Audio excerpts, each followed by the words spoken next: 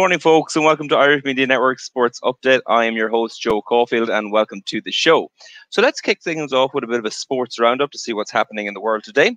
In rugby, Andy Farrell has named his side to face Italy in the resumption of the Six Nations competition on Saturday. He's handed two first time starting caps in the competition to Leinster duo Hugo Keenan and Will Connors. In GAA, COVID 19 continues to pose a threat to the continuation of the footballing season due to the fact that a Roscommon player has tested positive for the virus ahead of their Allianz League final round match against Cavan this weekend, as Roscommon have already qualified for, for promotion to Division 1 of the Championship or the uh, league rather, it is likely that game will be postponed. In the Champions League, Liverpool won 1 0 away to Ajax last night, and Man City came from behind to secure a 3 1 win over Porto. And finally, in the Europa League, Dundalk are preparing for their first Europa League uh, performance in four years tonight ahead of their uh, match against Molde in the Tallaght Stadium, kicking off at five to five this evening. So, to look forward to uh, with regard to that. And we're going to stick on the subject of Irish football because joining me this week is one of the co-founders of Supporters Group and Fan Forum, You Boys in Green. Liam Murray is joining me. Liam, how are things? Uh, not too bad, Joe. Uh, all good here. Thanks a million for coming on the show. Look, I'm, I'm not going to kind of um, faff around. I'd love to kind of jump straight in and talk about Champagne Football, the book by Mark Tighe and Paul Rowan, which effectively investigates the excesses within and the mismanagement of the FAI during John Delaney's tenure. So, kicking off first and foremost, what is your opinion of the book and how reflective is it of that time? Um, yeah, no, it's it's a great it's a great read. I mean, uh, for fans that have an interest in football, but for non-fans that have absolutely no interest in football, it's it's a great uh, look at a part of Irish society that we've always known about, which is the cute herd that gets into power and runs it the way they want to do it, and they use Gombeen politics to keep themselves in situ with uh, a lot of yes men around. I mean, it's not a new story in any way, but mm. uh, yeah, the story of John Delaney is uh, yeah, it's it's quite interesting, you know. Mm-hmm. One thing that uh, appears quite evident in the book, it focuses on a time when John Delaney was seen to be doing a lot, particularly at away matches, he was drinking and carousing with fans a lot. Um, there's, you know, there's, there's plenty of leaked videos at the time of that. Can I just ask, as, as a person who was at those tournaments, at those away matches, what was your impression of John Delaney as the CEO of the organization that was supposedly managing Irish soccer at that time? What was the, the fan perception of him at that time? Um, at the time, he, he started coming out onto the pitch and throwing his scarf or his tie into the crowd and giving fist pumps. I think he might have done it in Skopje in Macedonia and they did it in Slovakia. And like the, the fans are in there clapping and cheering the team off, whatever, you know what I mean? They've had a few drinks. So you're going to have people laughing. You have people, you know, singing, all this sort of thing. So he, he kind of lapped it up and he always had this need. It always had this need to be loved by the fans. Um, so yeah, it was it was very strange. You know, you're looking at it like, what is he doing? Like, you know, but in his head, it, it was you know, they love me. You know what I mean? Like he was yeah, nearly like yeah. as if he was the star player that came over. You know, it's like in a one-one draw or something. You're like bizarre. That's yeah, really it. You know.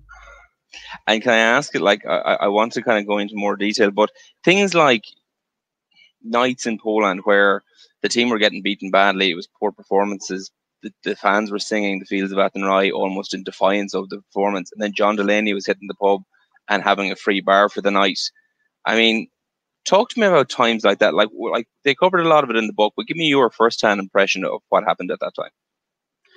Uh, yeah, I mean, you know, once we got tanked by, uh, you know, Spain, and even before that, once we lost Croatia, we knew we were out, right? So that mm. that was it.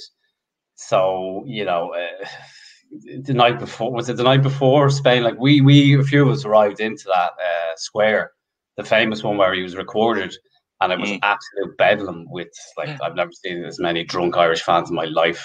Um, and we met people who just saw it happening, and like they said, he was, he was carried off by by the fans and all that. Like it's just embarrassing, really. You're like you're going you're you're here, you know, as the head of uh, sports administration, and you're you're more drunk than the Irish fans themselves, who are here just on, you know, you know, it was it was unbelievable.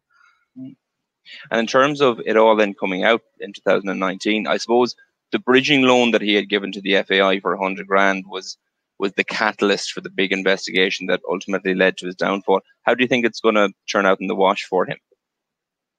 Um, well, I, have heard that the ODC investigation has a lot of evidence, and you know, most most fans you would talk to would think nothing's going to happen. You get a slap in the wrist. Mm. I would normally be like that as well, but from from what I heard and how they think it's going, uh, it, it might go a lot further than people think. Um, and there's what I heard is that it was used as a as a piggy bank a personal piggy bank, and it wasn't just John. But mm. that's that's only conjecture. So uh, look, we'll just wait and see. You know. Yeah. Hopefully, yeah. they'll do a thorough investigation. You know. Well, that's that's all you can hope for, and that justice is served and the truth does come out. So, Liam, just staying with champagne football, uh, there's loads of stories in the book that are incredibly entertaining. Is there any stories in the book that you can elaborate on and give us more detail that maybe wasn't covered in the book? Uh, yeah, like like Mark Tighe, you know, he said he could have written like a lot of other chapters in it. So when we did read the book, you're kind of oh, we barely that barely got a mention, but. Mm. So much could go in, but there is one story where um, a couple of nights before uh, Ireland played Italy. Now, now this is the biggest game under John Delaney's stewardship because if we beat Italy, we go into the knockout of a tournament, which you know hmm. we haven't done since 2002. Um, so we get an email in from uh, the head of communications uh, two days so we we being uh, oh, you boys in green big exactly yeah yeah yeah yeah okay. So so we get that email in and it's like time for action. And it was a forwarded email from the head of communications right from John Delaney. And like the head of communications included John Delaney's personal email. And it was a screenshot of the YBIG forum that he'd taken at three o'clock in the morning two days before this game. That's what John Delaney was doing on our YBIG forum, monitoring it for some stuff that was said. And literally, it was some idiot's uh, throwaway comment about John should be shot. And in the context of the whole uh, thread of conversation, no one mentions it. No one. It's just discounted as you know, just someone posting some shit. Uh, but what did they wanted you to do about that? Oh well, then another uh, couple of days later, they came back to us again, and they were like, uh, you know, obviously, uh, uh, Jared, the other guy he, he deleted the comments, you know what I mean? About that, mm. whatever, yeah. Uh, and then they wanted us, but they said they wanted us to have a public apology for John Delaney for that comment on the forum. But they said, because we've got such a big game coming up, we'll wait till the Thursday, which is the day after it. So obviously, we told them where to stick that idea. Mm. Uh, this is the kind of smallness of. It's reflective of priorities. Know? Like, where should your focus be two days before the biggest game? You know, since you know our last qualifying match for uh, a quarter final, and that's oh, like, action mean, point. Like you're actually just embarrassed for them. Like it was mm. just like, like, are you for real? Like, mm. um, is there yeah, anything? Anything in the book that isn't mentioned that you could elaborate on and give us some details of? Well, we would have a lot of stories. Like literally, if you meet anyone that's in the football community, say, give us a good John story. Like if he wasn't the head of the FAI and you know he was just some randomer that owns some, uh, you know, small little factory. He'd be great crack. You know what I mean? Like yeah. the stories you'd hear, like and some of them you wouldn't know if they're true or not. This one, I double checked this one just to make sure that this is true, and it involves Mike Ashley. Right, uh, for anyone that doesn't know who Mike Ashley, he's the owner of Newcastle United, yeah. uh, club in England, and also JD Sports. So he's quite wealthy. So he contacted a bookmaker, a well-known bookmaker, and he said, "Look, can you come over to London and meet us? Because you know I want to talk some business." So Obviously, your man says, "Crap, go over to London." So on the day, they made uh, to have a meeting, and he gets a call off Mike Ashley. Says Mike tells him, "Look, can you come to this pub?" Uh, so he's like, "Okay, this is a change of plan, no problems. I'll meet you there, yeah. Mike." so he walks in, and there's Mike Ashley, John Delaney, and Emma English. Emma English was, was his previous girlfriend. Mm. So he's like, "Okay, fair enough. Let's go with this." So they're on the beer And then later on, at some point, uh, Emma English starts singing a song. So he decides. Uh, so John walks around the pub, telling everyone to shut up. Would you be quiet? Emma's singing a song. So he gets everyone to be quiet, right? Obviously, some punter in there is just having a beer, and he just obviously tells them to stick it, go away. You know what I mean? Like, Yeah. Uh, so Mike Ashley then decides that he's going to intervene in this. So he goes up to this other guy and starts threatening him and take him outside for a fight. And while this is happening, the, the well known bookmaker just gets his jacket and legs it out of the pub and off he goes. So he came back and told like the staff and all that what happened. It's just these are the kind of mini little stories that you hear. that Mm. just like, you're just like, oh my god. moving slightly on, I want to talk about um, you boys in green in general because it is like um, a, a, a fantastic source in terms of a fan forum for a community to be built around the supporters and the follow followers of Irish football. Can I ask you, in terms of Stephen Kenny has had quite a, a rough start to his his tenure as, as Irish boss. Like to be fair, you have to take into consideration the the circumstances of COVID and all that sort of thing. But they are two like they've lost his two matches in charge. What has been the fan response within you boys in green to his tenure so far? Um, I, I yeah, I mean, what we have been watching for the last ten years as fans has been predominantly awful, and there's just there's just so much. I think there's uh, generally there's a lot of goodwill towards them because we want to just see a bit of progression and some sort of strategy in place. And he's shown that with the under 21s. You can see a bit of it in the games we played so far. I mean, we should really have had at least a goal or two in some of the games. I mean, Yeah. I mean, lads are passing the ball to the goalkeeper. You know, he he can't he can't be a fault for that. We're you know we- we're going about it the right way. Mhm. Um, you know, the Slovakia game is a bit of a sickener, but I mean, we had three stabs at that to get to that. You know what I mean? And we didn't deserve to be to be in a position to get to a playoff. Really, you know. Mhm. I mean, we were poor in the group. We finished bottom of the uh, the Nation League, and then we're still in the playoff. You know. Mhm. Um, so uh, there are some fans, you know, who are already getting on us back. I, I don't really follow the Twitter and Facebook and all that side of things, where I'd say it's much more vocal. Mhm. Um, but I mean, I'm reading the, the news reports. The journalists, uh, journalists are kind of being the same. You know, we need a chance. You know, there's, you know, we want to see a new progressive kind of uh, passing style that isn't just based on just hoofing the ball out. Like, um, Yeah, I mean, I. I- yeah, I was away in a game with Denmark, and uh, for the other playoff that we drew nil all. And like it looked like one of the tactics was is like it was like rugby, like try and get the ball into the corner for a throw and up the pitch, or if you're lucky, you might kick it off a Danish player, so it hits off him and we get a throw. And you're going like that's that's our plan. Mhm. So Yeah, it, uh, it, it does seem that there's a lot of hope around uh, Stephen Kenny in terms of his his tactics, um, and that there are some green shoots of progress within that. Um, so let's hope that that continues. Uh, while I have you, I can't let you go without uh, doing our "How well do you know your sport?" quiz. I hope you've uh, you've done your homework before coming on because we have that coming next.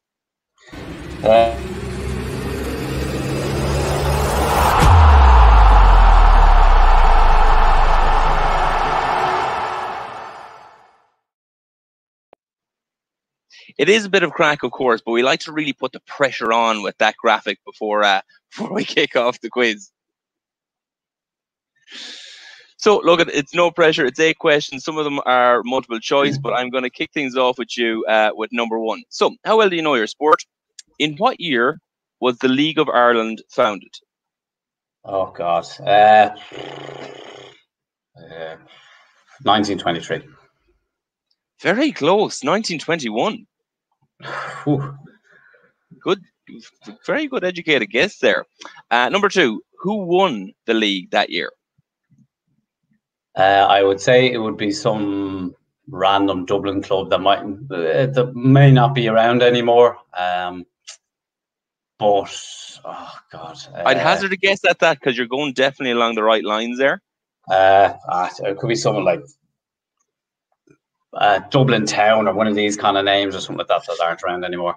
Yeah, it was St James's Gate. St James's Gate. All right. Uh, number three, what team has won the most League of Ireland titles? Uh, Shamrock Rovers. Shamrock Rovers, indeed. Uh, what Irish player has the most national caps for Ireland? Uh, it's either Robbie or Shay Given, but I'll go with uh, Robbie Keane. Robbie Keane is correct. And staying on that tangent, Robbie Keane has the most international goals for Ireland as well. How many international goals has he scored? Uh, I think it's 68. 68 it is indeed. Now you're, see, you're flying back into it here. Uh, number six, how many World Cups have Ireland qualified for? Uh, three. That is indeed correct. Uh, number seven, Roy Keane made his international debut against which country? Was it A, Malta, B, Turkey, or C, Chile?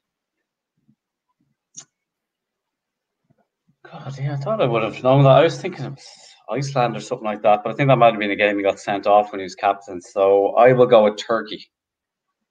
Close, but no cigar. It was Chile, unfortunately. And finally, number eight, Ireland's FIFA ranking right now is A, 45th, B, 37th, or C, 28th. Yeah, 37th. 37th is correct. And at the end of that, you got four from eight, 50%. It wasn't bad because it's a hard quiz. Uh, yeah, that's all right. So I was a bit worried about that, so it's not too bad. Fair play you. And that is the how well do you know your sport quiz for this section.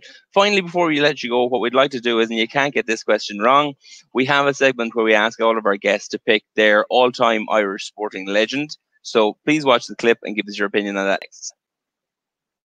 The heat by O'Driscoll. Oh, brilliant by O'Driscoll! It's towards Keane!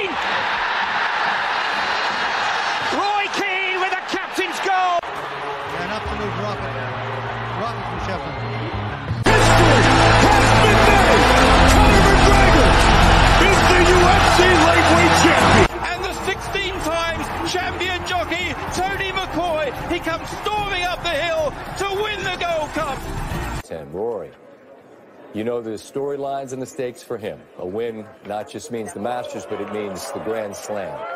And that's beautiful. And Sonia O'Sullivan is going to take the world title. Maguire Cup to Dublin's captain, Stephen Cluxton. Fighting pride of Ireland, Katie Taylor.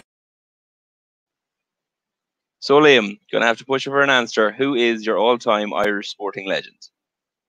Well, uh, not from a personal point of view, but I think Rory McIlroy for you know uh, on a global sports setting because a lot of them are just localized, and then Katie Taylor. So I'll give it to the two of them. Fair enough. Good stuff. Interesting. I, I would have had you paid for Roy Keane, but sure, what do I know? Uh, if if Roy Keane had just retired, uh, he would possibly get the vote. But all the stuff after it, and you know, I wouldn't be too much of a fan of Roy Keane for his for his comments and the way he behaves after after he's retired. So no, not for me. Fair enough. Fair enough. Come. Thank you so much for joining us, Liam. Really appreciate it. Just before I let you go, if people want to get in touch with you, boys in green, or even join the fan forum, how do they do so? Uh, yeah, the site's just ybig.ie. Uh, f- the forum is exactly uh, where you know fans can discuss away games or and in general. Um, so uh, just log on there and then they'll find it themselves. You know. That's brilliant. Thanks a million. Okay, thanks, Joe. Best luck. Cheers. Thanks a million.